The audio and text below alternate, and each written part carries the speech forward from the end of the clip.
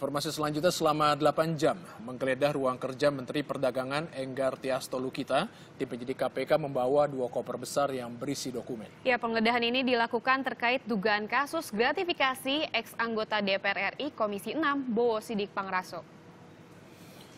Sepanjang hari Senin, tim penyidik KPK melakukan penggeledahan di kantor Kementerian Perdagangan di Jalan Ridwan Rais Gambir, Jakarta Pusat. Puluhan penyidik keluar dengan membawa dua koper besar yang berisikan dokumen dari ruang kerja Menteri Perdagangan Enggar Tiasto Lukita yang berada di lantai 5. Penggeledahan dilakukan terkait dengan kasus dugaan gratifikasi yang diterima ex anggota DPR RI Komisi 6 Bowo Sidik Pangarso yang sudah ditetapkan sebagai tersangka atas kasus dugaan suap pendistribusian pupuk PT HTK. Ya, menanggapi penggeledahan di ruangannya, Menteri Perdagangan Enggar Tiasto Lukita membantah telah memberi sejumlah uang kepada anggota Dewan Perwakilan Rakyat Bowo Sidik Pangraso.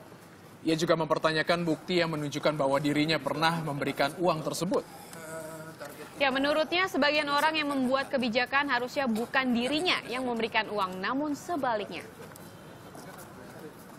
Terkait soal uh, kuota impor Pak ada harus, harus prosedur. Dia bilang nggak ada ya. Dibilang ada dari uang dari Bapak Jokowi. ya. Buktinya Waktu dimasukin ke amplop yang itu. Waduh. Dia dari Golkar, saya dari Nasdem. Jadi ada kepentingan Kemendak Pak di balik pemberian uang itu. Yang yang memberikan izin saya kan. Iya. Mau urusannya dia. Kenapa saya harus ngasih orang uang kepada orang lain? Saya yang memberi izin, kecuali dia yang memberi izin ya.